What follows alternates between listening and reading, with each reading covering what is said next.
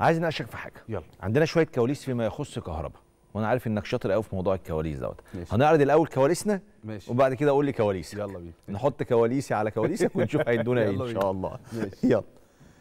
النهارده الأهلي استقبل آه، كيف استقبل الأهلي خطاب اتحاد الكرة بالسماح بمشاركة كهربا؟ صباح اليوم أرسل اتحاد الكرة خطابا إلى النادي الأهلي يخطره فيه بإمكانية مشاركة محمود كهربا في المباريات بعد انتهاء إيقافه يوم 12 يناير الجاري وبالتالي يمكن للأهلي الدفع به في المواجهات المقبلة بداية من لقاء سموحة في كأس مصر غدا إن شاء الله ثانيا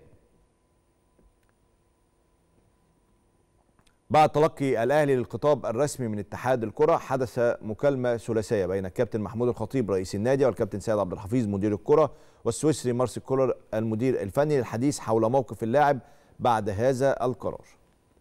ثالثا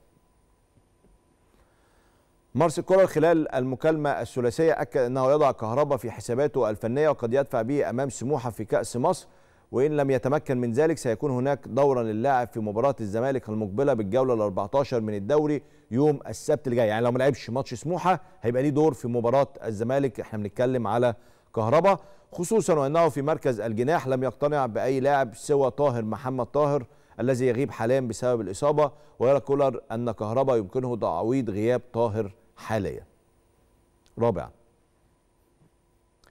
سيد عبد الحفيظ بعد صدور القرار تحدث مع كهرباء وطلب منه عدم التطرق للأزمة على حساباته بمواقع التواصل الاجتماعي والتركيز في الوقت الحالي مع الفريق حتى يظهر بصورة جيدة حال مشاركته. كابتن سيد عبد الحفيظ بيخاف من الحاجات اللي بيعملها كهربا على السوشيال ميديا يعني يخش يقول ده حقي وجالي وأنا أرجع لي والكلام اللي أنتوا عارفين بيعملوا كهربا ساعات فقال له ما تفتحش بقك خالص ما تتكلمش خالص ركز في الملعب وبس. تحديدا على السوشيال ميديا.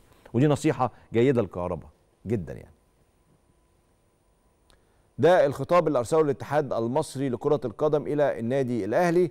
قال فيه يسعدني آه كلام الحاجات اللي في ال- التقديمات. قال نود أن نحيط سيادتكم علما أن الإيقاف الموقع على لاعب بدءا من 11 7 2022 لمدة ستة أشهر كحد أقصى بناء على الخطاب الوارد إليكم واخترنا به وكذلك الخطاب الوارد من الفيفا في 26 12 2022 بشأن هذا الموضوع بانتهاء مدة الإيقاف.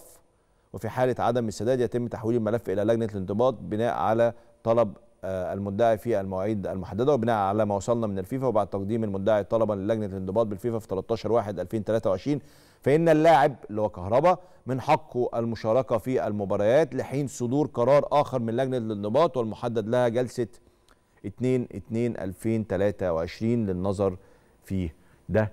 الخطاب اللي جاي من اتحاد الكورة ده الكواليس اللي تخص كهربا بعد ما النادي الأهلي وصلوا خطاب اتحاد الكورة. أبرز ما فيه إن مارسيل كولر ممكن يلاعب كهربا في مباراة سموحة ودي نسبة قليلة بس النسبة الأكبر ان ممكن كهربا يبقى ليه دور في مباراة الزمالك يوم السبت القادم. الحاجة المهمة كمان نصيحة الكابتن سامح حفيظ أو إلزام الكابتن سامح حفيظ لكهربا بعدم التطرق لهذا الموضوع على السوشيال ميديا أو مواقع التواصل الاجتماعي.